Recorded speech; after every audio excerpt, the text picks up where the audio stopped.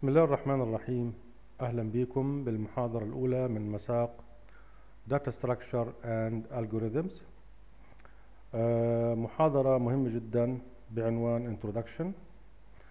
آه، لأنه حنبني على هذه المحاضرة كل المحاضرات اللاحقة خلال الفصل. آه، المواضيع اللي هناخدها المحاضرة هاي طبعا هنحكي عن الموتيفيشن تعريف الخوارزمية ما هي ماهيتها مصطلح time complexity asymptotic notations وال algorithm analysis وهنشوف كيف نحسب ال calculating the time complexity for algorithm. هنحكي عن ال space complexity والفرق بينه وبين ال time complexity. وآخر شيء حنتطرق لأسئلة الواجب لأنه إحنا هذا النظام اللي حنتبعه خلال الفصل. بإحنا تكون عندنا أسئلة الواجب من ضمن المحاضرة أو في نفس ال file. طيب أول شيء نيجي على ال motivation الأول. آه، في عندنا problem مشهورة اسمها LCS problem اختصار ل longest common subsequence. وخليني أنا أشرح لك إياه بعدين أرجع على التعريف تاعها هنا هيك. الفكرة هان إنه إحنا معطى معي string معين زي ما أنت شايف. وهذا ال string بيقول لي هات لي the longest match subsequence. فبنلاحظ إحنا طبعا طلعنا إنه هاي AATCG AATCG هاي في اثنين شبه بعض في نفس ال sequence وطبعا ممكن يكون إيش متدخلات في بعض. هذا هي بشكل سريع هذا هي ال problem اللي بنحكي عنها واللي إحنا عايزين نجيب the longest match subsequence. هذه اللي إحنا بنسميها LCS والفكرة تاعتها بأنه هذه المشكلة أو البروبلم الهدف منها to find the longest string زي ما شفنا that is a subsequence of each string from a given input strings. يعني ممكن يكون ال string اللي عندي أنا عايز أطلع إذا في عندي list اللي هو the longest common subsequence من ال string نفسه أو ممكن يكون من two strings وعايز نشوف طبعا أوجه الشبه اللي ما بينهم. طبعا the longest كمان يعني اللي هو الأطول الشبه الأطول. طبعا هذه ال problem مشهورة جدا وليها تطبيقات أو application مهمه جدا بالذات في عالم الطب لأنه إحنا هذا in particular بيقول لي هنا in the context of bioinformatics.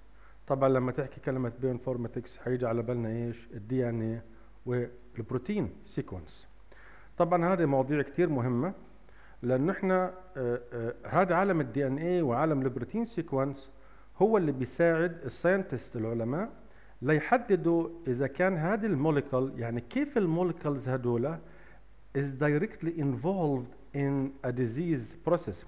يعني كيف بتبدأ عملية المرض كيف ال involving كيف بيصير. طبعا لابد من هم يصلوا طبعا إلى مستويات دقيقة واللي هو مستوى ال DNA ومستوى ال protein sequence. والآن هم هنا طبعا إذا هم قدروا أو إحنا قدرنا ك computer scientist أو IT إن إحنا نساعدهم بالحصول على ال longest common subsequence و other طبعا problems تتعلق بال DNA وال protein sequence هنا. فبيقدروا هنا طبعا هذا will help them يساعدهم to find a new and better drug. طبعا إحنا الصورة إحنا شفناها هنا قبل شوي والفكرة تاعت ال DNA إحنا بنعرف. الحمض الوراثي للإنسان اللي هو طبعا بيتكون أو بيكون أو بيكون منه الكروموزوم. والفكرة تاعت ال human DNA بأنه هو مكون من 3 مليار pair pair يعني اللي هو زوج. فنلاحظ هاي G C T A T هذول كم pair ثلاثة ففي كل شريط الوراثة هذا طوله عبارة عن 3 مليار pair يعني فعليا أكم من letter 6 مليار letter طبعا هنا اشتركت مجموعة من الدول آه لمشروع اللي هو ال human genome project وهذا طبعا أخذ وقت 10 سنوات وكلف 3 مليار دولار. وطبعا إحنا قلنا هذول هذا international effort اشتركوا مع بعض دول عشان يحددوا اللي هو 6 مليار letter تاعت مين؟ تاعت ال human DNA وبالفعل يعني طلعوها وحددوها. والآن طبعا صار دور اللي هو العلماء بأنهم يبدوا يدرسوا هذا ال DNA والملاحظات اللي عليه إلى آخره. فطبعا هذا ال DNA اجى طبعا هذا ال DNA كل إحنا بنعرف. طبعا المعلومات عامة أنا مش هخش في التفصيل فيها اللي هي من letters A C G T ثلاثة هدول. وهذول طبعا اختصارات للكلمات هدول. والفكرة اللي إحنا هنشوفها بان إحنا عايزين نجيب the longest match subsequence في ال string نفسه في ال DNA نفسه. ونشوف هل الجين هذا مثلا إنه بتكرر أكثر من مرة أو نقارن دي ان اي مع دي ان اي ثاني يعني مثلا علاقة إب بإبنه علاقة DNA إنسان بحيوانات مثلا إلى آخره. فطبعا هذه الدراسات فتحت أبواب لدراسات كثير المشكلة المشكلة مش هان المشكلة بأنه في المثال اللي معي هنا بدأ واضح أنا بقدر نطلع انه إحنا آه هاي في عندهم مشتركين A A T C G و A T C G هان لكن المشكلة لما الموضوع بيكبر زي هيك. فهنا طبعا هل طلع لي the longest match subsequence فأنت بدات تستشعر هنا بصعوبة الموضوع. فما بالك لما بيكون عنده طول ال string اللي هنا قد إيه؟ 3 أو أو 6 مليار letter أنت متخيل؟ طبعا لا يمكن للانسان إنه يحل مشكلة زي هاد. وإنه يحصل أو يجيب the longest match subsequence فطبعا في string طوله 6 مليار. وبالتالي هذا بيجي دور مين؟ بيجي دور الكمبيوترز عشان تحل لنا الإشكالية هاد. الكمبيوترز طبعا هم أسرع من الإنسان بملايين مليارات المرات طيب. الكمبيوتر طبيعة الحال ما بيفهمش فإحنا مضطرين إحنا نبرمجه. إحنا عم برمجه بايه باستخدام لغات البرمجة وفي عندها أنواع من لغات البرمجة لكن في نهاية المطاف الهدف واحد. هذا البرنامج اللي إحنا بنعمل الكمبيوترات طبعا البرنامج اللي هيعمل الكمبيوتر بحيث إنه يطلع the longest match subsequence البرنامج في الأصل كان عبارة عن خطوات معينة بتأخذ هذا ال string ك input وبتطلع لي ك output مين؟ اللي هو إيش؟ the longest match subsequence لأن الخطوات هذه اللي هتاخذ ال input وتمشي step by step عشان تطلع لك ال output مجموعة الخطوات هذه بنسميها إيه؟ algorithm بنسميها الخوارزمية أو ال algorithm طيب. فال algorithm طبعا في نهاية المطاف حتتحول لكود مكتوب بلغة برمجة وهذا حيتم تطبيقه على الكمبيوتر. فهيك الآلية. طيب. الآن إحنا نبدأ نكمل مع بعض في موضوع ال motivation. يعني إحنا هنا شفنا في المثال اللي معناه بأنه هذا motivation بورجينا هنا أهمية الخوارزمية عشان تقدر تجيب لي the longest match subsequence لإيش؟ لل DNA ال human DNA أو حتى أي DNA آخر من الحيوانات عشان نعمل عمليات عليها وندرس عالم اللي هو الأمراض والى آخره. ولا زال طبعا العلم قائم على الكلام هذا وحيستمر طيب شغلات ثانية برضه إحنا بتفيدنا في ضرورة الخوارزمية اللي هي موضوع ال weather prediction كيف إحنا بنتنبأ بالطقس؟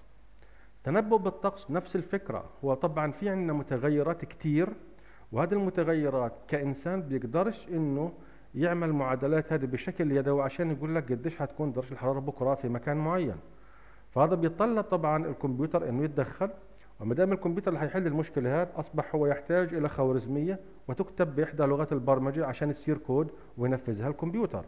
فبرضه إحنا ما هي الخوارزمية اللي انبنت عليها ال weather prediction لأنه بتحكي أنت على معطيات هائلة وطبعا متغيرات كثير وهذا حتاج هذه إلى خوارزمية عشان تعملنا ال weather prediction وإحنا بنعرف أهمية ال weather prediction طبعا بالنسبة للزراعة وبالنسبة لموضوع للصيد السمك إلى آخره. نفس الشيء عالم ال encryption وال decryption طبعا إحنا بنعرف موضوع ال security وأهمية ال security بالذات. إحنا انفتحنا الآن كل العالم صار كله global فبالتالي موضوع ال encryption وال decryption شيء أصبح جوهري وإحنا بنحتاج لخوارزميات تعمل encryption وخوارزميات تعمل decryption وكيف نحمي حالنا من موضوع الاختراق إلى آخره. فبرضه هذا مبني على خوارزميات. طبعا خوارزميات لازم تكون معقدة واللي هيعمل كلام هذا برضه هو الكمبيوتر. نفس الشيء يعني مثال ثاني هنا زي ال voice recognition إيش الخوارزمية تاعت ال voice recognition كيف بتميز voice عن آخر؟ إيش الخطوات اللي عملوها؟ وطبعا نجحوا في المجال هذا نفس الشيء facial recognition كيف بيقارنوا بين شخص وثاني وهذا بيستخدموه في عالم في عالم الجرائم في عالم التشخيص إلى آخره. فهذه الأمثلة اللي إحنا شفناها والمثال اللي شفناه في ال slide الأول هو أساسه مبني على ال algorithm مبني على إيه؟ على الالجوريثم وعشان هيك إحنا هنبدا ندخل ونعرف مع بعض ونشوف مع بعض ما هي الالجوريثم أول شيء every running in your computer is an algorithm. كل شيء أنت الآن بيشتغل على الكمبيوتر تاعك هو الجوريثم يعني فعليا أنا الماوس اللي بحركه هذا هذا الماوس مربوط في حركة الماوس اللي أنا ماسكه بإحداثيات معينة بشيب معين وهذا مبني على خوارزمية معينة إنه حسب البرنامج اللي هو فيه. اليوم أنا هذا بعطيني المؤشر هنا في البرنامج هذا في برنامج ثاني مؤشر ثاني ممكن يكون حركة إلى آخره. نفس الشيء اللي إحنا شايفين الشاشة بتاعت ال PowerPoint وال text إلى آخره. كله هذا في كل البرامج اللي إحنا بنشوفها وإدارة اللي يعني البرنامج اللي موجود في ال RAM بالإدارة اللي بيريد يدير البرامج هذه اللي موجودة في ال RAM بالبرنامج اللي بيدير البرامج هذه في ال CPU نفسه برضه عبارة عن خوارزميات. فعلم الخوارزميات في كل شيء في كل شيء. طيب نبدأ نعرف ما هي الالجوريثم طيب انتبه معي لأنه هذه التعريفات مهمة. طبعا هذه مواضيع نظرية لكن إحنا بحاجة لها لأنه هذا أسس. إحنا خلاص بس حتكون في المحاضرة هذه فقط. بعدك بصير الأمور إيش؟ يعني تطبيقية وأسهل شوي أقل جفاف. An algorithm الخوارزمية is a well defined هاي ملاحظة. هذا لازم تكون well defined إيه؟ computational problem. That takes بتاخد some value or set of values as input and produce شو بتعطي بتطلع لي some value or set of values as output in a finite amount of time يعني في في في وقت نهائي تعريف ثاني an algorithm is a sequence of an ambiguous computational problem لاحظ كلمة computational problem مرت معنا للمرة الثانية طيب an algorithm is a sequence of an ambiguous طبعا ambiguous يعني فيش فيها غموض computational problem steps خطواتها that transforms transform the input لايش into the output in a finite amount of time التعريفان هنا يعني مباشر مش صعبين آه، آه، اي خوارزميه لاحظ إحنا لما الكود عندنا مثلا هو الكود هي صوره ثانية للخوارزميه الخوارزمية لازم تكون عبارة عن خطوات وهذه الخطوات واضحة ومحددة وهذه الخطوات تأخذ المدخلات وبتطلع المخرجات خلاص؟ والآن هذه الخطوات لازم تكون لتحل مشكلة computational problem ولازم تكون خطوات هذا well defined زي ما حنشوف الآن لما نحكي على ال characteristics تاع الخوارزمية. السؤال بالأول هنا شو يعني computational problem من أمثلة عليها لتوضيح الصورة زي مثلا عايزين نجيب ال prime factors of a given integer. عايزين ال prime factors تاع اسمها computational problem. عايزين نعمل sorting نعمل searching. عايزين نجيب the common match زي ما شفنا the longest match the least match إلى آخره. آه عايزين نجيب the shortest path in a given graph على سبيل المثال. هذه كلها عبارة من أمثلة ال computational, computational problems. طيب. نيجي الان لحاجه اسمها ال characteristic. يعني إحنا بالأول شفنا ما هي الخوارزمية عرفناها التعريف العام هات وحتوضح كمان شوي مع الوقت. الخوارزمية لحل computational تتعامل مع computation والكمبيوتر problem اللي هو إيش؟ حكينا الأمثلة تاعتها الآن ال algorithm characteristics خصائص الخوارزمية وهذه شروطها لابد من توفر الأربع شروط هذولا. عشان نقول عن هذه الخوارزميه is an algorithm غير هيك لا تعتبر الخوارزميه خوارزميه ففي characteristic للخوارزميه أول شيء كل خوارزميه لازم يكون لها إيه؟ input. وال output هذا طبعا ممكن يكون one input أو إيش؟ multiple inputs يعني value قيم. ولازم يكون لها إيش؟ تطلع بنهايه المطاف output وهذا ال output قد يكون رقم one value أو ممكن يكون more values multiple values. كلام واضح. والكلام هذا إحنا already شفناه وين؟ في التعريف. نكمل. من شروط أو من characteristic ال algorithm اللي هو ال definiteness إنها تكون إيش؟ well defined وال effectiveness يعني لازم تكون effective شو يعني effective نشرح شوي. أول شيء كلمة definiteness اللي هو معناته إنها well defined معناته إنه الخطوات تاعت الخوارزمية well defined وإنها إيش؟ unambiguous فيش فيها غموض و clearly specified واضحة. هذا الشق الأول. الشق الثاني كلمة ال effectiveness إنه تعني إنه ال steps are effective يعني كل خطوة أنت عاملها في الخوارزمية تصب نحو الهدف. وما فيش عندي أنا أي خطوة إيش؟ redundant اللي إحنا بنسميها إيش؟ زيادة. بنلاحظ من التعريف هنا في الشق الثالث هنا واضح لأنه عبارة عن شقين definiteness وال effectiveness والاثنين طبعا مع بعض يعتبروا. وآخر شيء موضوع ال finiteness إنه يعني لازم تكون نهائية. ما بنفعش الخوارزمية طبعا تم شغاله أو كود شغال indefinitely يعني بينفعش لازم في نهايه المطاف ينتهي ويطلع لي output معين. فبالتالي بقول ال algorithm must terminate after a finite number of steps with correct output. يعني طبعا في نهايه المطاف لازم تنتهي الخوارزمية وإلا لا تعتبر خوارزمية. لاحظ ال characteristic فعليا هم إحنا مستنبطينهم من التعريف نفسه. بمعنى كلمة ال input وال output ما إحنا شفناها هان لاحظ take some value or set as إيش as input هاي واحد. بالنسبة لل output لاحظ يعني uh, some value or set of value as output. نفس الشيء عندنا هنا اللي هي input وإيش؟ وال output في التعريف الثاني للخوارزمية. موضوع ال definiteness وال effectiveness ال definiteness هنا تدل على إيش؟ لاحظ بيقول لي هنا unambiguous. وهنا معناها إيه؟ well defined يعني ما فيش عندي إيش؟ غموض في كل خطوة من خطواتها. الشق الثاني ال effectiveness هنا بأنها نفس الشيء. ما فيش عندي شيء redundant طبعا. والشيء الأخير هنا موضوع ال finiteness اللي هو الكون النهائية. ولاحظ كلها دائما بينتهي التعريفين بكلمة أو جملة in a finite amount of time زي ما أنت شايف هنا هيك. هذه هي التعريف الخوارزمية. فموضوع الخوارزمية موضوع بسيط. آآ آآ آآ إحنا حنوضحها أكثر الآن لما نحكي على موضوع ال problem statement يعني أنت في في الشرح أنا لما حكيت لي على ال computational problem حاضر جبنا لك إحنا أمثلة على ال computational problem شو يعني problem أساسا؟ هي كلمة problem هان إحنا بنمثلها عن طريق problem statement بأنه إحنا نحدد إيش ال input وإيش ال output يعني مثال هنا بقول لي ال problem statement يعني فعليا لما أنا عايز أنا عايزك تحل لي مشكلة لازم أنا أعطيك problem statement بقول لك هي ال input مثلا a list of numbers وعندها key إيش ال output ال output حيعطيني yes إذا ال key لقيناه موجود في ال list أو no no إذا ما كانش ال key موجود في ال list. لاحظ أنا الآن إحنا هي في ال input وهي ال output الآن الخوارزمية اللي بدي إياها راح تمسك ال input وهتعمل خطوات معينة أنت حتحددها لما في نهاية المطاف لتطلع لي ال output مجموعة الخطوات هذول هيك اللي أخذت ال input هنا هيك وحولت لي ل output زي ما أنت شايف. هنا هيك هي الخوارزمية. طبيعة الخصائص الخطوات اللي لازم يكونوا إيش؟ definiteness وال effectiveness اللي حكينا عنهم.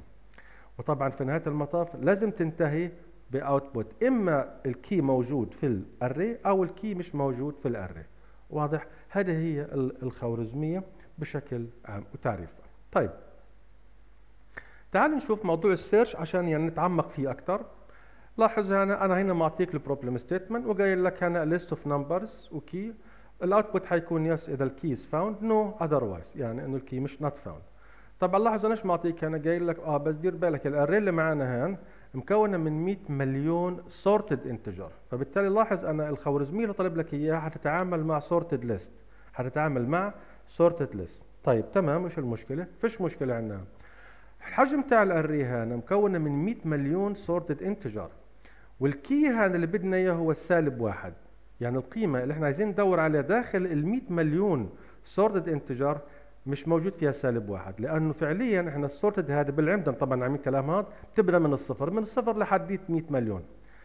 وبالتالي السالب واحد is not in the array is not in the array. يعني موضح لك هو هذا. طبعا إحنا في عندنا بدل طريقة في طريقتين. بما إن الخوارزمية sorted فتحت لنا بابين. إما الخيار الأول إنه هنعمل موضوع ال sequential search. وال sequential search الفكرة تاعته بسيطة.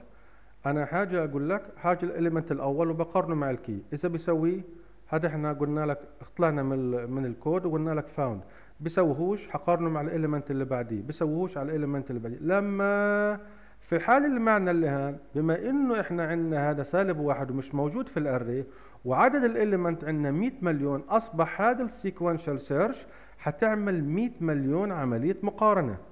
واضح؟ الطريقة الثانية أو خوارزمية ثانية يعني هاي خوارزمية مشهورة اللي إحنا سميناها ال sequential search خوارزمية ثانية اللي هي ال binary search ولاحظ اللي مكتوب هنا ليست الخوارزمية هذا بنسميها coded algorithm يعني خوارزمية مكتوب بالكود تاعها هذه خوارزمية ثانية وهي الكود تاعها. تمام؟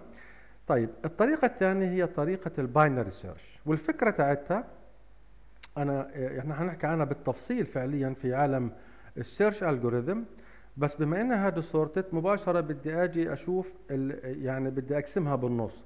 هل ال key عندنا مثلا أكبر من النص؟ إذا أكبر من النص حنتقل على الشق الأكبر يعني بس بعدين بقارن إلى آخره. وطبعا إحنا عندنا نشوف موضوع ال recursive هنا وحنشرحها بالتفصيل فكرة ال binary search. فبنلاحظ إحنا الآن في two algorithm بيحلوا نفس المشكلة.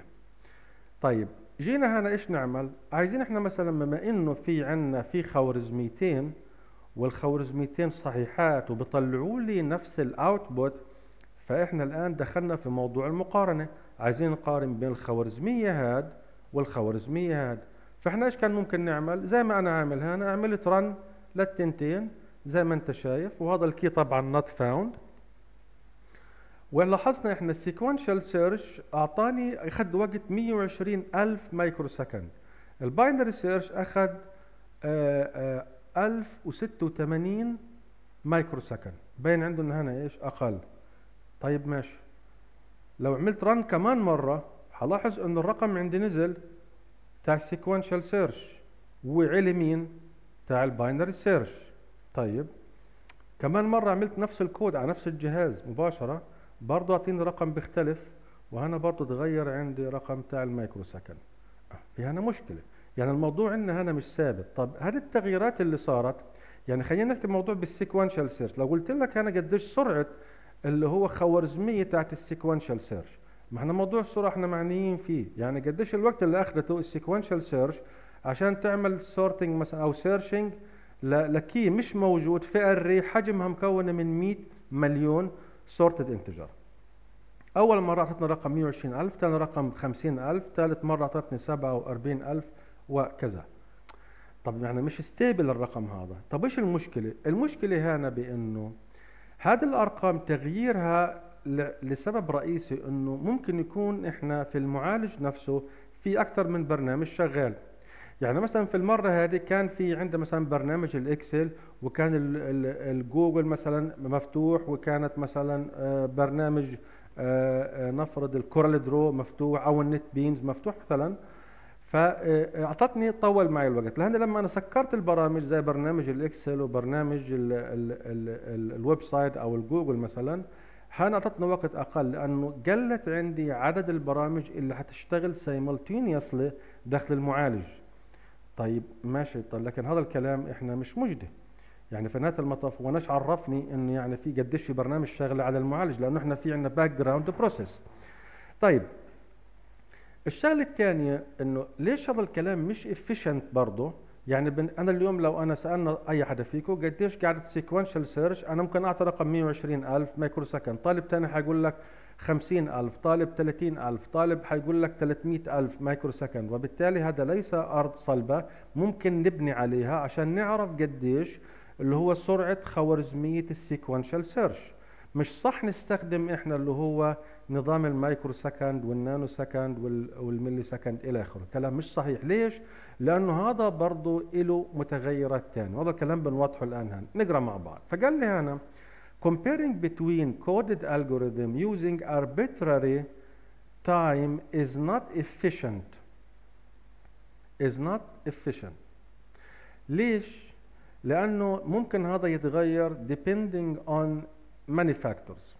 يعني مثال ممكن نحن is there other programs running at the same time زي ما حكينا. في المثال المعنى هنا. ممكن إن إحنا قديش مواصفات الكمبيوتر نفسه. يعني سرعه المعالج كام؟ ما هذا هتفرق يعني أما إحنا لما أقول لك قديش سرعة الخوارزمية عنده سرعتها هتختلف عن سرعتها أو running time تاعها بالنسبة عندك حسب مواصفات جهازك. هل هو أسرع من جهازي؟ أقدم من جهازي؟ إلى آخره. أضف إلى كمان معيار ثالث إنه طب أي لغة برمجة إحنا استخدمنا؟ لغات البرمجة اللي إحنا استخدمناها. يعني هذا مكتوب بلغة Java. طب لو كتبناها ب Python هل حتكون أسرع؟ سي بلس بلس أسرع ب assembly أسرع إلى آخره. فبالتالي هنا دخلنا في في في, في موضوع يعني هيك صار آه، آه، عائم مش واضح المعالم. آه، ليست أرضية صلبة نقدر نبني عليها. لكن هنا الأرضية الصلبة نبني عليها شو هي؟ اللي هذا ثابت بغض النظر وين الخوارزمية هاد طبقناها إنه أول شيء اللي هو عدد الستبس. يعني عدد الخطوات اللي حتلزمني للخوارزمية أنا كانت في المرة هاد يعني مثلا تعال نجمعها هنا هيك مثلا هذه تحتاج إلى آه، مليون 100 مليون آه، آه، خطوة. عندك تعالج ما حتلاقيها برضه 100 مليون أي شخص ثاني 100 مليون. بغض النظر لو تغيرت لغة البرمجة لو تغير الحاسوب مواصفاته كان شغال مع برامج ثانية ولا لا؟ ملوش أي اعتبار. إحنا هنا حاليا يعني رفعنا يعني إحنا طلعنا من المن يعني من من من عنق الزجاجه هذه طبعا في موضوع الحسابات تاعت ال arbitrary time فبالتالي إحنا صار تركيزنا الآن على عدد ال steps أو عدد ال operation اللي هتعملها الخوارزمية. ممتاز لأنه هذا كلام واضح. يعني عندنا إحنا 100 مليون يعني في المثال اللي عندنا هان مثلا ال sequential search إحنا عندنا 100 أكم أكم أكم من مقارنة حتصير إذا كان عندنا 100 مليون sorted integer وال key مش موجود. هتقول لي نعم بكل بساطة هذا حيكون 100 مليون عملية مقارنة. تعال نشوف في ال binary حتختلف الأمور شوي. هذا الكلام اللي هنحدده في ال slide اللي جاي.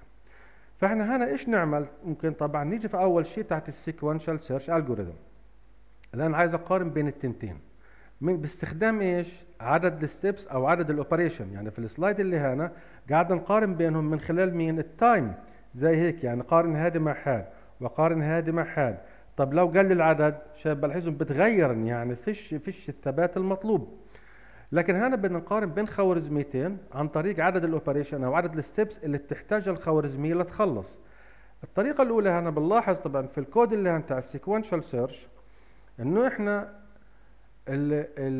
عدد ال elements اللي عندنا هان هم 1 billion elements مليار element هذه اللي إحنا بنسميها مين؟ ال n. بنسميها ال n. وبقول لي أنا افترض إنه ال target أو ال key is not in the array مش موجود في ال array وهذا اللي إحنا بنسميها مين؟ ال worst case ليش سميتها كلمة worst case هنا؟ لأنه هنا حيضطر يعمل كل عملياته في الآخر مش حيلاقيه. لكن ممكن في سيناريو ثاني ممكن يكون ال key في أول element فهيك مباشرة يعني في إيش؟ عملية واحدة مقارنة ويلاقي مين؟ اللي هو ال target أو ال key. هذا بنسميها ال best case هنتطرق له قدام. طيب بالتالي هنا هذه الخوارزمية في حالة ال worst case حتحتاج 1 billion comparison مقارنة عشان تطلع لي ال output يبقى عدد ال steps هنا هيعطيني كام؟ اللي هو مليار آه آه sorry نعم مليار comparison بالنسبة لل binary search الطريقة تختلف تماما وال approach تاع الخوارزمي مختلف تماما وهو بيزبط فقط لما تكون sorted زي ما هنشوف بالتفصيل بعد هيك. لكن هذا هتاخد وقت أقل بكثير من ناحية عدد ال operation أنا بحكيش وقت ك arbitrary time بحكي كعدد ال operation اللي محتاجة الخوارزميه لتخلص. في المثال اللي معنا هنا نفس السيناريو. هنفترض إنه ال target is not in the array مش موجود في ال array وإحنا عندنا عدد ال n مكون من 1 billion elements وإحنا السيناريو طبعا هذا سميناه ال worst case ممتاز. عدد ال comparison اللي إحنا محتاجينه log ال n base 2 وهذا شيء غريب. حنوضح الكلام هذا بعدين. يعني بمعنى عدد ال steps أنا حيعطيني log 2 لل 100 للمليار. عارف قديش حيطلع؟ اللي هو إيش؟ 31 لأنه انت اضرب 2 اس 31 حيعطيني إيش؟ الرقم هذا. طيب. الملاحظة هنا if we double n يعني الحين إحنا وهذه كمان نقطة ثانية طيب ماشي يعني هل هذا كان يكفي؟ هل هذا كان يكفي علشان أجرب خوارزم يعني دير بالك أنا مضطر إني أجيب مليار رقم وأجرب على الخوارزميتين في المثال اللي معي هنا. وأنا هنا يعني حكمت على الخوارزميتين من مثال واحد. من خلال إنه هذا عمل لي مليار عم comparison وهذا 31 فبقول إنه هذا الخوارزمية أفضل. لكن الموضوع إحنا عايزين نرتقي لمستوى أعلى شوي. لكن إحنا ماشيين في الاتجاه السليم. بقول لي هنا إحنا عايزين نعرف طيب مثال لو كانت إحنا الآن عملنا لها double يعني صارت عندنا هان عدد ال n يساوي 2 مليار. بالتالي في الحالة هاد حيكون عندنا 2 مليار إيش؟ مقارنة في ال sequential search however في حالة اللي هو ال binary search حتزيد عندي فقط one more comparison بس عملية مقارنة واحدة. شوف المفارقة وين؟ وهذا هو جوهر الموضوع. فبالتالي عندي حيصير عندي عدد العمليات 33 comparison. هذه في حالة ال binary search طبعا هذه ملاحظة كثير مهمة. فايش بقول لي هنا؟ بيقول لي لاحظ إنه ال both algorithms behaved differently when n doubled لما إحنا عملنا double لل n هنا في حالة ال sequential search طبعا صار double لعملية ليش للوقت أو لعدد ال operation. لكن هذا لما عملت لها double في عدد ال n من واحد مليار ل 2 مليار بس زادت العمليات عملية واحدة فقط طبعا شيء يعني مدهش بالفعل. وهذا اللي طبعا دخلنا في في المرحلة أو المستوى الأعلى إنه إحنا الحين أنا ما تقوليش قديش بيأخذ عمليات حسابية كرقم ثابت زي هيك أنا عايز تقول لي هذه الخوارزمية لما عدد الأن بيكبر لما الإنبوت بيزيد هذه الخوارزمية هاو ات will behave يعني كيف هذه will behave كيف حتتصرف فاهم كيف؟ طيب فالسؤال هذا الآن صار تركيزنا الآن في اتجاه إنه is the question now يعني how the number of steps أو operation كيف عدد ال operation grow حيزيد if n grows. يعني هل التسارع تاع ال grow تاعه متسارع جدا بطيء وسط ضعيف ثابت تسارع خيالي؟ هذا اللي إحنا بدنا نصل له. طبعا هذه النقطة اللي هي إحنا بنسميها إيه؟ ال time complexity بنسميها إيه؟ ال time complexity اللي حتوضح لنا كيف تت... الخوارزمية how it will behave لما عندي عدد آه، آه، يعني in term يعني كيف ال operation هنا will behave حتتصارع أو حتزيد مقارنة بأن لما n grows أو تزيد. يعني العلاقة هذه أو ال function هذا اللي إحنا بنسميه إيه؟ ال time complexity اللي هنوضحه طبعا في ال slide هذا. طيب قبل ما أحكي في موضوع عن ال time complexity إيش عملت؟ أنا عشان برضه ما دام الموضوع انه إحنا عايز أنت تشوف ما انت نقلتنا لمستوى أعلى. انت الحين رحت أنا عملت عملت run للبرنامج أكثر من مرة. هي مرة اثنين أربعة ستة ثمانيه تسع مرات. في كل مرة كنت مثلا حطيت عدد ال n 10 element وقعدت أطلع في ال sequential أخذت أعطتني 100 micro second. في ال binary أعطتني 18.4 لما كانت 100 element زدتهم 10 أضعاف هذه زادت 158 micro second هذه 28 تعال نمشي لما صارت آه، مئة ألف أو مليون element هذا قعدت 30 3000 مايكرو آه، micro second هذه قعدت 40 micro second لما صارت 2 200 مليون آه، هذه قعدت 68 ألف micro second هذه قعدت 42 micro second يعني هنا إذا بتلاحظ إنه أنا عندي كل ما بتزيد عندي ال n بيزيد التسارع أو يعني تتسارع اللي هو عدد العمليات. لكن إحنا هنا هنا برضه تتسارع لكن التسارع هنا إيش؟ بطيء هنا بطيء جدا. وهذا وهذا طبعا النقطة هذه هي إيش؟ مربط الفرس. فجيت أنا رسمت الكلام هذا كإيه؟ كجراف زي ما إحنا شايفين لأنه الجراف بيعطينا حيدخلنا في موضوع ثاني وهذا نقطة مهمة بان أنا عايز أشوف قديش يعني الخوارزمية كيف will behave شايف؟ في حالة ال binary search وكيف الخوارزمية behaved في حالة اللي هو ال sequential search لما قعدنا إحنا نضاعف في قيمة مين؟ في قيمة ال n elements فبنلاحظ إحنا تقريبا الخوارزمية هذه اللي هنا اللي هي بتمثل ال binary search إنه يعني قديش بيزيد عند ال element يعني تتسارع تسارع بطيء عدد ال الـ operation وبالتالي هي أفضل من الخوارزمية هذه. لأن هذه الخوارزمية عند 200 مليون تحتاجت إلى شايف قديش لعدد من ال operation عشان تقدر تتمم أو تنجز العملية. فطبعا إحنا هذه النتيجة اللي وصلنا لها نتيجة مهمة جدا وهذا إحنا اللي صار يطلع معنا اللي هو ال function هذا function مين على مين؟ function اللي هو تاع ال n على ال time أو ال running time فنلاحظ إحنا في حالة هذه ال function اللي هنبين إنه يعني زي إيش بنسميه؟ زي ال linear بنحكي عنه. إنه بيزيد ال n وهذا برضه معاه بشكل linear بيزيد معاه. لكن في حالة ال binary search لا التزايد أو هنا مش linearly أقل بكثير وبالتالي هذه الخوارزمية تاعت ال binary search أفضل وأسرع.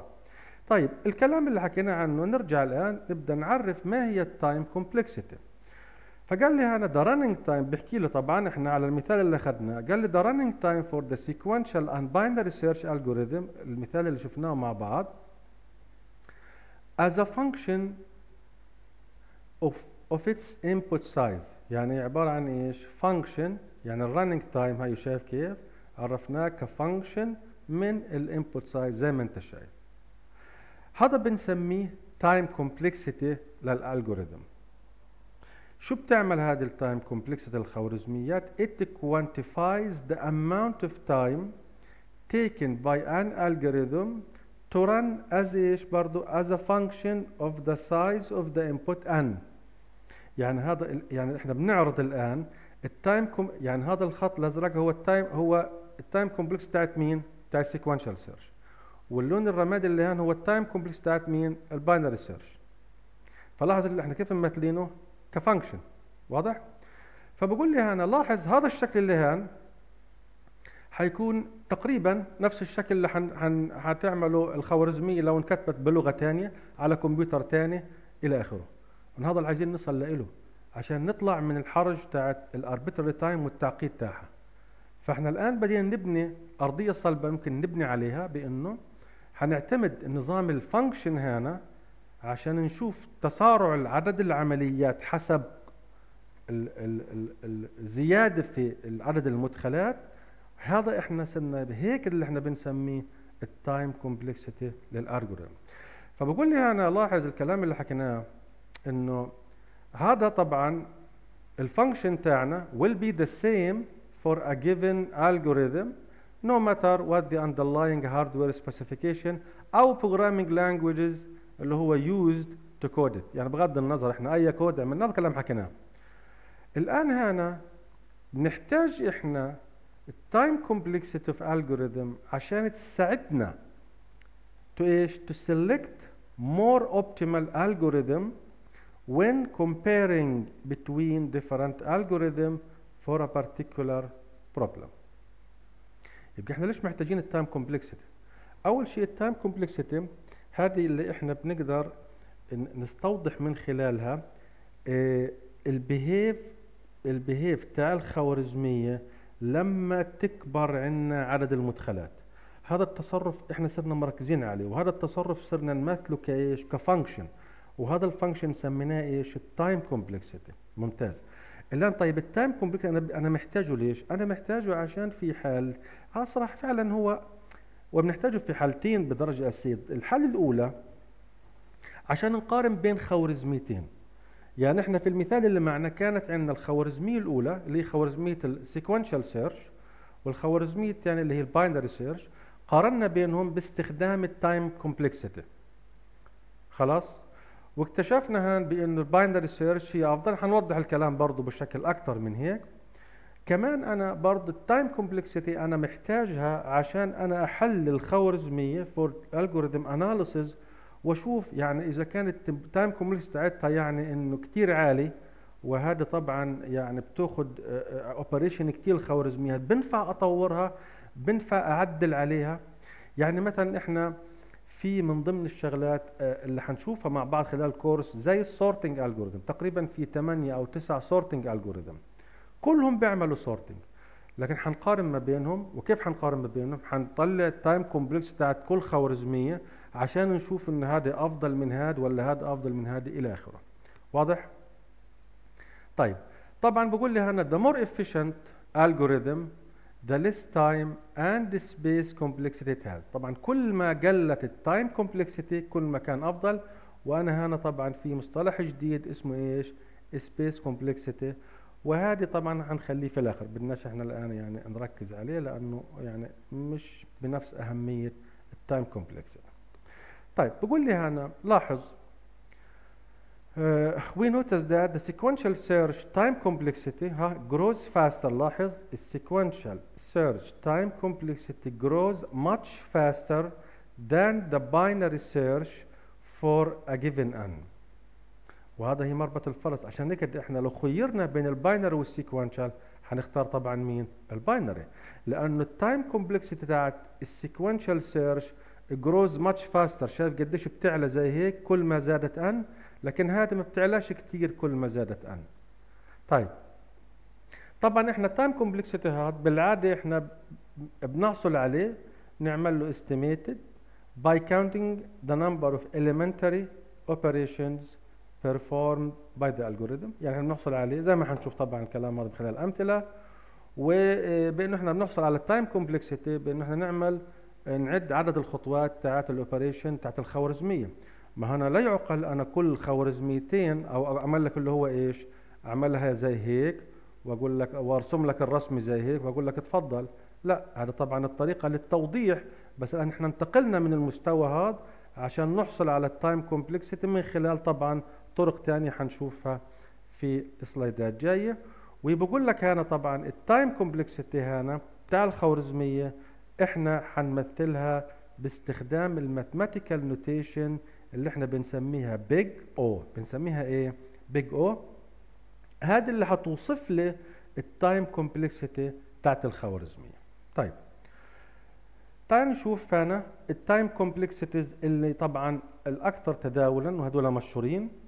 أول شيء في عندنا هدول the most common common time complexities واللي حيمروا معنا خلال الكورس أول نوع بنسميه ال constant complexity constant complexity إحنا عرفنا ال complexity قلنا هو عبارة عن function ل عدد العمليات أو ال operation حسب عدد إيش؟ اللي هو ال n أو ال input.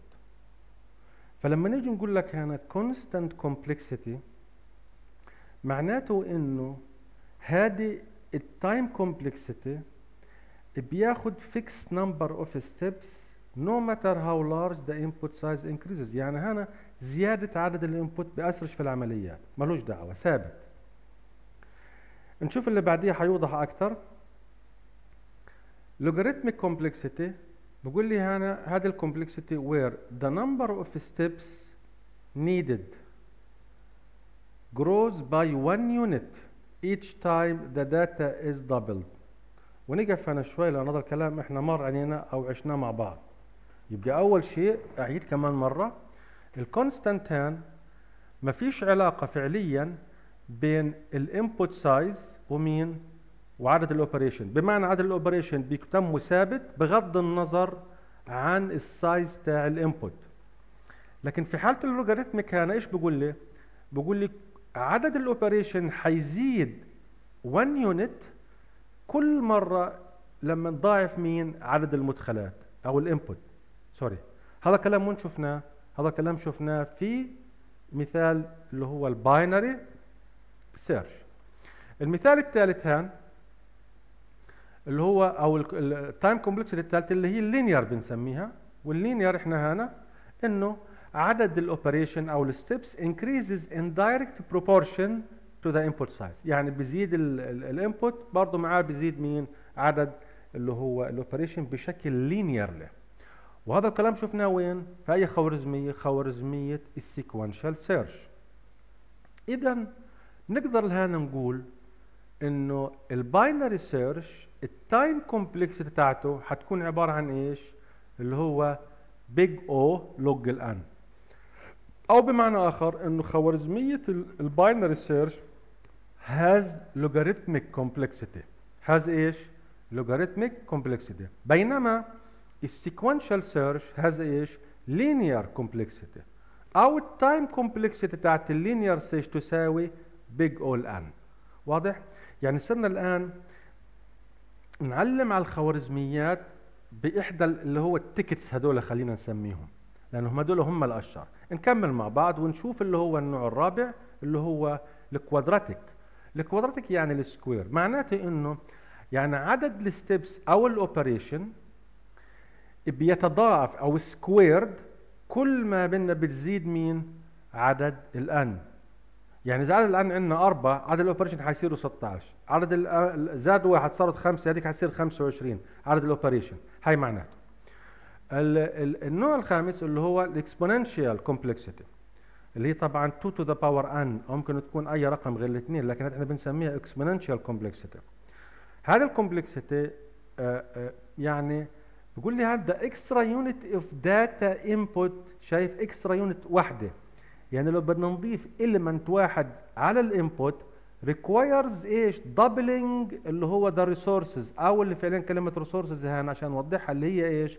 اللي هو ال operation عدد ال operation وبالفعل هي مين؟ عكس ال logarithmic growth في ال logarithmic growth إحنا هنا إذا بتلاحظ كان عندي عدد العمليات بيزيد عملية واحدة لما تتضاعف n. يعني لما نعمل doubling لعدد المدخلات.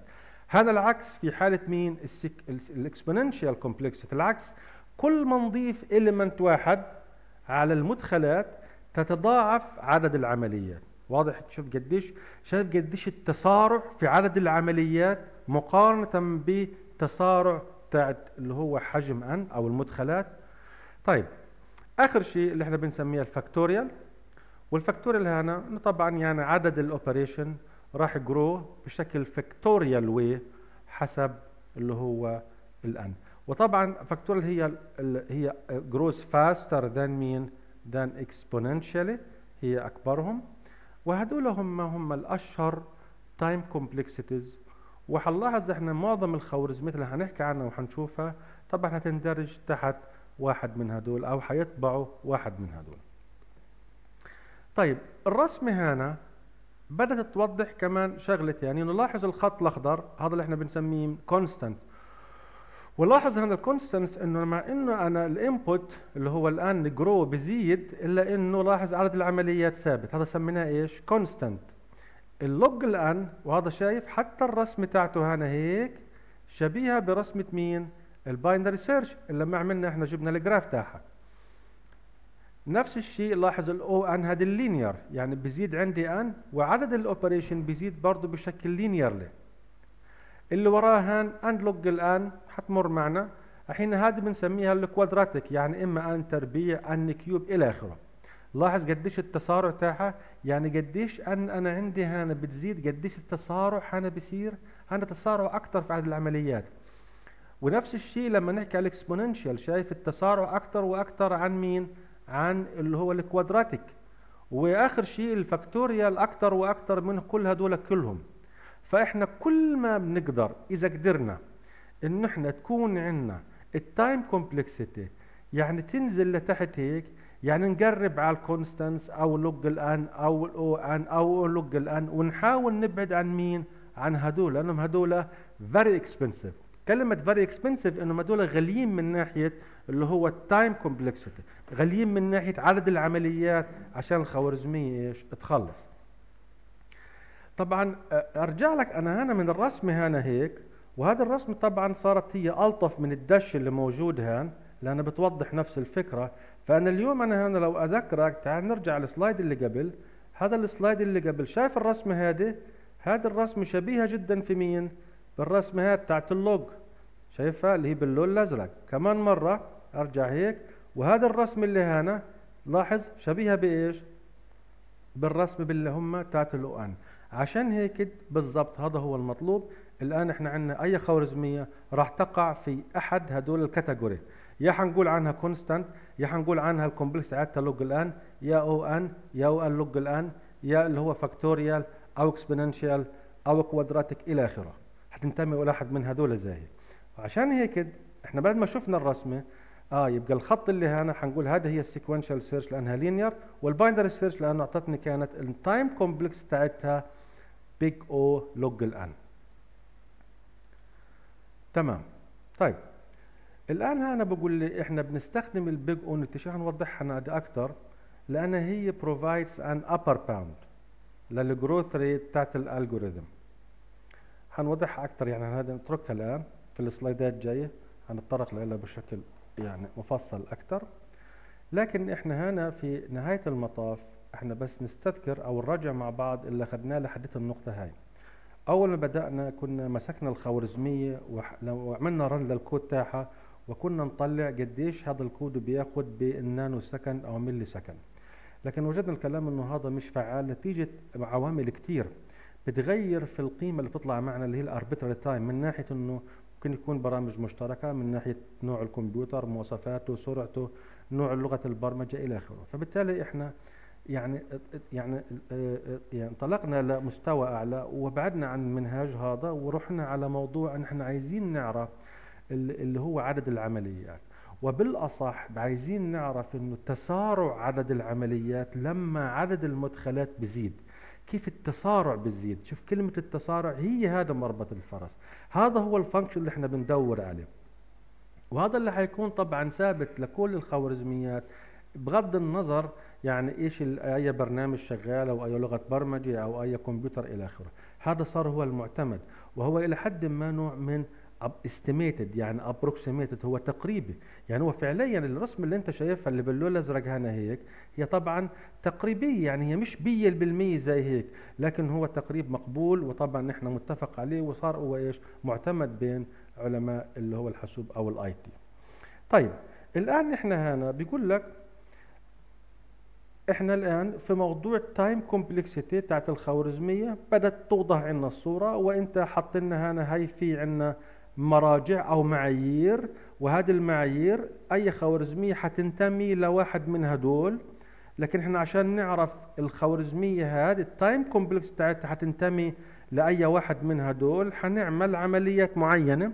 لكن بقول لك قبل هيك إحنا في عملية ال analyzing للخوارزمية راح نلاحظ برضو ثلاث حالات. أنا ما عندنا أشرحهم يعني في المحاضرة هاي.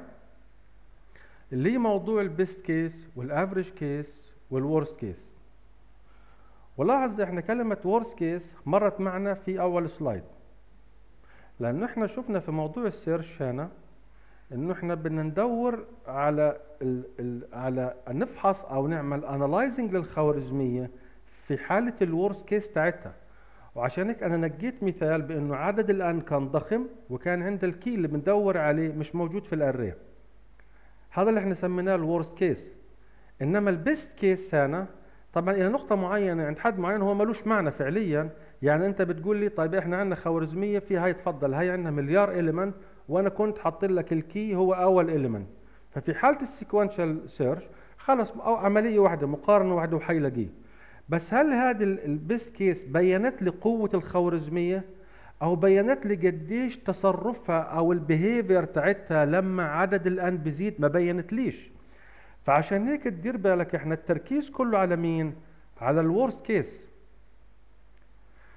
نشرح عن ال worst case هو ال maximum number of operations أو ال steps needed for a given input n وحنرمز له بال big O في ال best case هو ال minimum number عدد الأقل من ال operation حتحتاج الخوارزميه بنسميه ال big theta وطبعا ال best case إحنا شفنا في مثال ال search تاعنا في حالة ال sequential search بتكون أول element في ال array لكن في حالة ال binary search إذا أنت فاهم الخوارزمية صح تاعته أو الكود صح لازم يكون هو إيش؟ the middle element اللي في النص. بيكون هو ال key اللي بندور عليه. خلاص بعدك مش هيكمل يعني فقط عمل عملية مقارنة واحدة وانتهى الموضوع. ال average case هذا is not common مش كثير مشهورة. بس هي طبعا اللي هو يعني ال average number of operation needed لكن التركيز الأهم هو مين؟ موضوع ال worst case اللي إحنا بنستخدم اللي هو ال big O عشان نقدر نوصفه. طيب. نيجي لل asymptotic هذول طبعا اسمهم إيش؟ الثلاثه هذول هيك اسمهم asymptotic notation زي ما إحنا شايفين. يعني إحنا خلينا أمحي بس ال scratch يعني إحنا ال best case وال average case وال worst case بنمثلهم عن طريق مين؟ ال asymptotic notation اللي هم إيه؟ الثلاثه هذول. ال asymptotic notation زي ما أنت شايف توصف لي the runtime of an algorithm based on an increasing input size of the algorithm. فلما تقول لي big O notation يعني هذا هتعمل لي تاعت مين؟ تاعت ال worst case big O notation معناها ال upper bound يعني أكثر من هيك لن يمكن إن الخوارزمية يزيد عدد العمليات تاعتها عن هيك. لا يمكن يزيد عن هيك. مقارنة ب n as a function of n خلينا نسميها. هذه بنسميها ال big O notation. وطبعا هي الأشهر على الإطلاق لأنه تركيزنا كلنا على مين؟ على ال worst case. لكن الأوميجا هنا هي ال best case وكلمة lower bound اللي هو يعني الحد الأدنى من العمليات تحتاج الخوارزمية لتخلص. في حالة ال search تاعتنا هي محتاجة عملية مقارنة واحدة فعليا وبتطلع من الكود وخلص ولقت ال key. لكن في ال upper bound هنا لا إحنا هذا الحد الأقصى ال maximum. عملت عملت المليار عملية مقارنة في حالة ال sequential search وفي نهاية المطاف ما لقتش مين ال key فعشان هيك هو الاتجاه كله والتركيز دائما حتلاقيه على ال big O notation وآخر واحدة اللي هي الثيتا اللي هي طبعا ال average case طبعا مش هالاستخدام إحنا هنركز أكثر على موضوع ال best case وال worst case وبالذات ال worst case في خلال طبعا دراستنا الخوارزميات خلال المحاضرات القادمة. الآن نيجي إحنا حنستفيد كيف يعني بدنا نشوف ال asymptotic notation ففي حالة ال binary search لما أنا أقول لك big O log n أنت إيش فهمت علي؟ فهمت إنه آه هذه هي حالة ال worst case أنا معرف لك إياه واللي هي log n. ال best case اللي هي طبعا linear اللي هو sorry constant ثابت لأنه فقط هي حتكون عملية أو عمليتين maximum بغض النظر يعني قديش بتكبر قيمة ال- المدخلات. وال average حتكون برضه إيه زي ما أنت شايف اللي هي ال theta log n نفس الشيء في حالة ال sequential search طبعا لما أعطيك بقول لك ال time complexity لما أقول لك time complexity يساوي big O n فبتعرف إن إحنا بنحكي عن مين؟ على ال worst case ولما أقول لك اللي هو الاوميجا ال1 يعني هتعرف إنه حالة ال best case طبعا لما بيكون عندنا ال element at the first index في ال array وال average case فلا ال average case اللي هي طبعا ال theta n هذا في حالة مين؟ طبعا إحنا حنحكي بشكل أكثر في موضوع ال best case وال worst case لما نعيش مع بعض أمثلة ونبقى نشتغل على الخوارزميات خلال المحاضرات القادمة. طيب هذا الموضوع بنهاية المطاف الهدف من كل المقدمة هذه عشان موضوع ال algorithm analysis إحنا عشان نحلل الخوارزمية. فإحنا لاحظنا هل لما نحلل الخوارزمية بنحللها ليش؟ عشان نقارن بين خوارزميات أو عايزين نطور في الخوارزمية نفسها. طيب ماشي. كيف بنحللها؟ بنحللها إن إحنا بنحصل على ال time complexity بتاعتها عايزين نجيب مين؟ ال time complexity بتاعتها تعال نشوف أنا التعريف إيش حكى عنه. قالنا هنا algorithm analysis هي دراسة. To provide theoretical estimation. لأن عملية إيش؟ تقريبة زي لاحظت ما بعطينيش هو ال exact يعني running time للخوارزمية. يعني أنت بعد ما تحلل الخوارزمية مش هتعطيني بالضبط كم nano second الخوارزمية راح تقعد. أنت هتعطيني إيش؟ estimation. اللي هي عملية تقييم يعني تقدير أو مختصر تقريبة يبقى بالتالي هتعطيني provide theoretical estimation for the required resources. كلمة resources قصده في ال time وال space يعني ال time اللي هو يعني عدد ال operation اللي حنجريها وين؟ في مقارنة أو حنجريها على ال CPU. for the required resources of the algorithm to solve a specific computational problem. برجع نفس الكلام هو هو. لاحظ هنا it does not give an accurate values. بعطينيش قيم دقيقة أو وقت دقيق لأنه مش هذا هو الهدف. لكن هي بتعطيني إيش? estimates. فال algorithm حيعطيني إيش؟ هي estimates. عشان هيك إحنا آه، آه، حن حن يعني الناتج تاع ال algorithm analysis حيكون in term of إيش؟ asymptotic notation. يعني upper bound الحد الأعلى lower bound ال average زي هيك. هو كله تقريبا. طيب. It gives estimates which can be used to study the behavior of the algorithm. لأنه كمان مرة هو الهدف من ال analysis شو؟ نحن ندرس ال behavior تاع ال algorithm بالذات لما عدد ال n grows طيب. أو عشان نقارن بين multiple algorithm الحين بقول لك نفس الشيء. We need algorithm analysis عشان إيش؟ to compare between algorithm and to improve its time complexity. لازم نعملها algorithm analysis. طب the time complexity هان is estimated by anal كيف بنحصل عليه؟ وطبعا أيوه هذه هي طبعا المستوى الأعلى اللي الآن قاعدين حنصل له بأنه ال time complexity كيف بدي أحصل عليه؟ ماشي أنت ال time complexity قلت لنا بأنه إحنا حن حن will describe باستخدام ال big O notation حاضر ماشي. بس كيف حنجيبه؟ فإحنا حنجيبه هل إن إحنا نرسم اللي هو الرسمه هذه هيك أعمل لك زي أعطيك ال graph زي هيك وأقول لك استنبط لي ال f of n أو ال function تاعه؟ طبعا لا لأنه هذا كلام إيش؟ بياخذ جهد كثير فإحنا إيش حنعمل فبقول لك هنا حنحصل على ال time complexity هي by إيش؟ by analyzing its code statement line by line. حنشوف الكلام هذا بالتفصيل. وطبعا إحنا فحنمسك الكود وحنمسك نعمل الكود نعمل tracing line by line ونشوفها كم مرة بده يتنفذ وكم عملية حنحتاج وحنجمع عدد العمليات كلها. هيك إحنا حنطلع اللي هو من ال time complexity لأي خوارزميه الموضوع بسيط. لن نحتاج graph عشان نرسمه ولا هنعمل table عشان نعمل run للكود نفسه لا. لأن هنعمل من غير ما نعمل حتى run للكود أساسا بنقدر نطلع مين ال time complexity بتاعت الخوارزمية. بقول لي طبعا when describing لما نحكي كلمة time complexity للخوارزمية هنحكي عن مين؟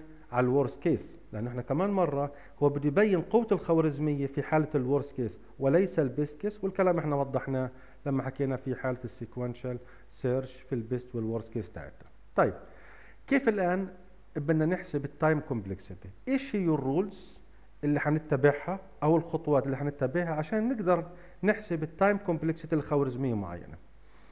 بقول لي أنا to analyze the time complexity حنستخدم big O notation حاضر هذا الكلام عرفناه. big O notation provides إيش؟ يعني إيش؟ يعني ليش ال big O notation لأنها بروفايدز هنا upper bound on the growth rate of an algorithm. يعني بتعطيني upper bound للتسارع تاع الخوارزمية. By إيش؟ expressing its term of the most significant term. يحتاج لتوضيح. In the algorithm time complexity function. يعني اللي أنا علمت لك إياه بالخط هنا هشرح لك إياه كمان شوي. أما الآن الحين يعني يحتاج إلى توضيح. خلينا نشوف هنا أول شيء النموذج اللي عندنا هان إنه أول شيء إحنا بنتعامل مع single processor خلاص؟ وهنتعامل هنا بإنه يعني لما نشوف إحنا أي خوارزميه هنتعامل إحنا في عندنا فقط single processor وبعدين طبعا عملية ال execution هذا بيصير بشكل sequentially زي ما إحنا عارفين في موضوع ال coding كله. عملية ال assignment operation بتاخذ 1 unit of time شو قال لي هنا 1 unit of time يعني عملية ال assignment بتاخذ شو 1 unit of time آه طبعا هو مش راضي يقول لي قديش يعني كم nano second أو milli second ما إحنا اتفقنا مش عايزين نحكي في الموضوع هذا. إحنا صرنا نقول unit of time وخلاص بغض النظر. ال unit ال time اللي عندي هنا قد تختلف على ال unit time أقل أو أكثر من ال unit time على جهازك أنت حسب مواصفاته والمعايير اللي حكينا عنها. طيب إيش قصدنا في الكلام هذا؟ يعني عشان نوضح لاحظ هنا إحنا حنيجي الآن على الكود معين وفي الكود حنطلع على ال statements تاعته خلاص؟ لما نيجي على statement زي هاد عايزين نقول هذا ال statement بتتطلب كم unit of time عندي هنا بتتطلب 1 unit of time فكلمة ال assignment هان حتحتاج فقط 1 unit of time ممتاز. ليش؟ لأنه هنا عملت عملية creation لل i وضاف لي في الصفر هذا بتتم فقط in 1 operation step واحدة. هذا بنحكي طبعا في ال assembly الآن. طيب لكن تعال نشوف اللي وراها. لما اجى قال لي i تساوي 7 طب ليش قال ليش هذا صارت 2 لأنه بقول لي هنا آه هذا هذا ال i بدي في الأول أعملها fetch يعني بدي أجيب قيمة i هي i تشير لوين؟ بعدين بعمل عملية مين؟ التخزين. تخزين السبعه جوا ال i. يعني بالأول بدي أجيب i بعدين أخزن السبعه جوا. هذا عمليتين. لكن هذا عملية واحدة لأنه هنا في الفعل هو created هو أنشأ ال i والصفر جواها هاي معناها طيب هنا مثلا لما نقول له return لاحظ؟ return statement take 1 unit of time زي return ال i. طب ليش أخذت إيش؟ آه هي ال return في حد ذاتها بتأخذ 1 unit of time بس ال i ليش يعني لو قلنا له return السبعة 1 unit of time لكن return ال i 2 units ليش 2 units لأنه كمان مرة بده يعمل fetch لمين؟ لل i يعني مش بده يجيب لنا مين إيش قيمة i هذا عملية. العملية الثانية بيعمل عملية مين ال return بعدين ال arithmetic operation بتأخذ جمع طرح ضرب قسمة مقارنات. كله هذا بيأخذ 1 unit of time logical operation بيأخذ اللي هو طبعا أكبر من أصغر من اللي هو ال ampersand ال and وال or إلى آخره. وال not كل هذا بيأخذ برضه إيش؟ 1 unit of time هنا مثلا لو قلنا له system dot out dot print ال i هذا كم unit of time 2 ليش 2 لأنه أول شيء بده يعمل fetch لمين؟ لل i بعد ما يجيب قيمتها هي العملية الأولى العملية الثانية بده يعمل عملية طباعة. يبقى 2 units هنا 3 ليش؟ قال لي i يساوي i زائد 1 طب ليش 3 هذا آه حيجي بالاول على قيمة مين؟ ال i مش لازم يجيب قيمتها بالأول. بيعمل عملية fetch لل i بعدين العملية الثانية عمل عملية الجمع مع الواحد. العملية الثالثة والأخيرة اللي هي عملية التخزين في ال i نفسها ثلاث عمليات. طيب i تساوي i زائد j. طب هذه ليش أربع عمليات؟ نفس الفكرة. هو حيجي يعمل fetch لل i عشان يجيب قيمتها. بعدين يجيب عملية ال fetch لقيمة j يعرف قيمة j عبارة عن إيش؟ يعني تشير لأي لايش الرقم اللي بخزن فيها؟ هي عمليتين العملية الثالثة اللي عملية الجمع والعملية الرابعة والأخيرة اللي هي عملية مين؟ التخزين في ال i. فبالتالي أربع units هان ثلاثة units of time ليش؟ لأن نفس الفكرة هنا بدي أجيب fetch i بده يطلع لي إيش قيمة i هذا عملية بيعمل load لها وأنا بيعمل load لل i عشان يجيب لي إيش قيمتها بعدين بيعمل عملية مين؟ المقارنة بينهم. طبعا الكلام هذا اللي هو حيوضح أكثر فعليا بس إحنا مبدئيا نبني على النظام هذا هذا يعني enough أنا أعتبره بس حتوضح الصورة أكثر ليش لما هذا اللي بدها 2 unit وهذا بدها 3 وهذا 4 unit أكثر لما تأخذ اللي هي مادة تصميم تصميم تنظيم الحاسوب أو اللي هو معمارية الحاسوب. في في يعني في في ال assembly هنا حتوضح الكلام هذا إيش أنا قصدي انها 3 units أو 4 units وش معنى ليش بيعملوا زيك بشكل أكثر. طيب بقول لي أنا drop the lower order terms وبعدين drop the constant شو هذول تعال نوضح الكلام هذا. أول شيء بقول لي نعم جينا إحنا وقعدنا نحسب في ال units اللي هنا ومثلا عدد المدخلات n وهذا حيطلع عندنا في نهاية المطاف جمعناهم مع بعض حيطلع عندنا هيك. طبعا حنشوف أمثلة بالتفصيل بالكلام هذا. الآن بقول لي بعد ما تطلع هذا ال equation كله هو فعليا هذا ال equation كله هو هذا ال time complexity. لكن إحنا حكينا ال time complexity بنشيل منه عشان حنستخدم إيش؟ ال Big O notation provides إيش؟ Upper bound on the growth rate of an algorithm by expressing it in terms of the most significant term. خلاص؟ يعني فعليا هنا drop the lower order term. فهذا ال equation يعني مش صح أقول لك ال time complexity n square زائد 3 n زائد 1 خلاص؟ إحنا هو عملية estimation يبقى هذا حتشيل هذا ال lower order وحتشيل ال lower order هذه وحنبقى فقط على مين؟ على n square فصارت عندنا Big O n square فإيش ال Big O عملت هنا؟ Big O شالت لنا مين؟ وريحتنا من اللي هو ال lower orders هذول وعشان هيك هذا إحنا سميناها مين؟ ال Big O notation وبالتالي لما نعرف إحنا نعرض ال time complex الخوارزميه بنستخدم ال Big O notation لأنها بتشيل عنا اللي هو الزيادات لأنه بالفعل حنشوف كمان شوي إنه هي ما لهنش اعتبار ما لهنش قيمة الزخم مش موجود هنا. الزخم كله موجود وين؟ في ال n square. لأن هذه هي the most اللي هي إيش؟ significant term هي هذا طيب اللي بعديها أنا لما نقول إنه جينا عملنا في الكود وطلعت عندنا ار أن 4 n square زائد 6 n زائد 100 نفس الشيء حنشيل مين هاي ال 100 ونشيل ال 6 n. وحنخلي الاربع n square بس برضه بقول لي drop مين constant يعني كمان الاربع إيش شيلها. لأنه برضه ليست هي مش هي الزخم. الزخم مركز وين؟ على ال n square. فبالتالي الجملة اللي هنا برضه حتساوي إيش؟ Big O n square. Big O n square. وفي ملاحظة هنا. الآن بطلع أنا على ال equation اللي هان وال equation اللي هنا أنا بلاحظ في اختلاف بينهم. ومع ذلك طلعت النتيجة النهائية إنه هذه O n square وهذه O n square. شو معنى الكلام هذا؟ هذا الكلام هذه ملاحظه كثير مهمة. أول شيء إحنا حكينا في من ضمن التعريفات إذا بتطلع على ال slide اللي فات فقلنا إنه ال time complexity بركز على ال estimation عمليه التقريب. وإحنا عايزين نعرف الخوارزمية هاد ال time complexity هاد حيقع تحت أي common time complexity مش إحنا حكينا في عندنا كونستانت ولينير ولوغاريتميك وكوادراتيك واكسبوننشال وفاكتوريال بالضبط هذا حيقع في أي وحدة لأنه هذولاك هم مرجعية. فهذا حيقع في ال O n square quadratic وهذا برضه n square.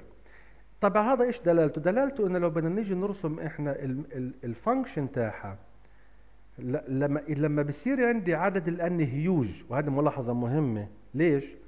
يعني مثال لو أنا عندي عدد ال n هنا خلينا نوضح النقطة هاي. عدد ال n لو كان عندي خمسة طبعا هذا بصير بتفرق معي أكثر لكن لو n مليار بصير هدول إيش؟ ما لهم مش معنى. لأن يعني هذا بصير مليار square مليار square أصبحت لا تقارن في مين؟ في الثلاثة مليار هنا وزاد واحد. ما لهمش اعتبار. فعشان هيك عم نعمل drop للقيم اللي هان. وهن نفس الشيء. تخيل n هذا لو كانت مليار. يعني الستة n ما لهاش اعتبار. ويعني تفهم كيف؟ والمية هذا ما لهاش اعتبار. وحتى ال constant ما لهش اعتبار. ليش؟ ال constant هنا مش حيغير في ال shape بتاع ال function. لو رسمنا الكلام هنا هيك وطبعا ال n square فعليا هي رسمتها زي هيك. خلينا نعتبرها زي هيك. الحين اذا كانت هذه ولا يعني تعال ارسم لي انت هذه لحالها مثال. تعال هذه ارسم لك equation اللي هان آه انمح هذاك مش مشكلة. هذا ال equation ارسم لي إياه. إيش حيطلع عندك؟ يعني زي هيك. مثلا. جرب لحالك. وعندنا إحنا 4 n square زائد 6 n حنلاقيه برضه إيش؟ يعني إلى حد ما يمكن زي هيك. لكن الطابع العام هم ماخدات الشكل هو هو تاعت مين؟ تاعت ال O n square واضح؟ لأنه فعليا ال Big O بتريحنا من موضوع لخمة اللي هو هدول الزيادات وال lower term وال constant طيب نيجي على الخطوة على المثال الثالث اللي هو نفس الشيء هذا lower bound وهذا lower اللي هو term وطبعا حنشيل من ال constant فريحتنا فصارت ال big O تساوي O n square خلصنا وارتحنا. فبقول لي هنا لاحظ. To describe the running time of an algorithm يعني عايزين نجيب ال time complex بتاعتها we consider the size of input is very large. عشان هيك we can ignore constants. إحنا هذا بكل سهولة بنتجاهل ال constant وال coefficients in describing the running time complexity وكلام اللي وضحت لك إياه الآن. لأنه إحنا هنا بيصير هدول ما لهمش أي اعتبار في حالة أن لما تكون ضخم جدا. وإحنا شغلنا كله لما بيكون عندنا عدد اللي هو حجم n يكون ضخم جدا. طيب تعال نشوف فانا. نبدأ في ال constant time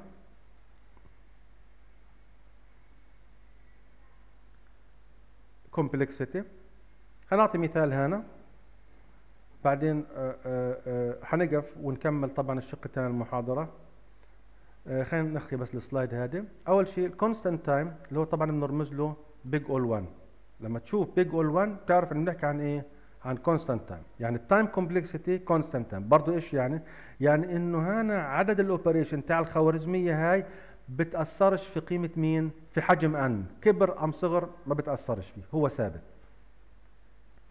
فقال لي constant time implies to share that the number of operations the algorithm needs to perform the complete a given to complete a given task is independent ملهاش دعوة of the input size. The big O notation we use the following big O1. تعال مثال عندي هنا هاي عندي أنا طبعا هذا كود ومرقم لك إياه لاين هنا هذا عنده الميثود كله هو الصم هذا ما فيش عنده operation integer result يساوي x زائد y تعالوا نشوف هنا هذا كم operation عندي يبقى أنا حبدا مباشرة من وين؟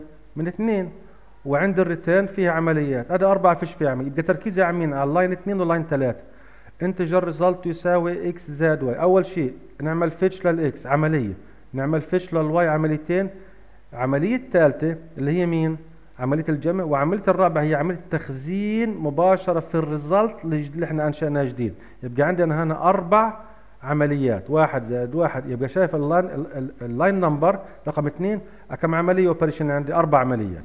يبقى عندي احتاج هذا أربع unit of time return result ذاكرين هو حيعمل fetch لل result هنا وبعدين يعمل عملية return فصارت عنده واحد زائد واحد يساوي تنتين فعليا T T of n اللي هو ال T اللي صار كلمة time time complexity يعني للكود اللي هنا حيساوي 4 زائد 2 وحيساوي 6 وما دام هذا رقم زي هيك ملوش اعتبار في n يعني n صارت مليار ولا مش مليار؟ ما فيش n عندنا مش مربوطة فيها بالمرة فإحنا سميناها هنا إيش؟ constant وطبعا يبقى ال time complexity هنسميها big O of إيش؟ of 1 طبعا الرسم تاعتها في ال execution شايف هاي ال constant algorithm هذا حجم ال data أو ال input بيمشي هيك وهذا ال execution time وحنلاحظ إنه إيش؟ متأثرش بالمرة. طبعا ارتفاعها من هان لهان اللي هي معناته اللي هي مين؟ الستة هنا هيك شايف؟ اللي هي الستة يعني مش أخوات واحد اثنين ثلاثة أربعة خمسة ستة. واحد لكن الشكل أو ال shape تاع ال function حيكون عبارة عن line ثابت اللي إحنا بنسميه هنا إيه؟ constant نقف هنا هيك ونكمل الشق الثاني من المحاضرة لاحقا.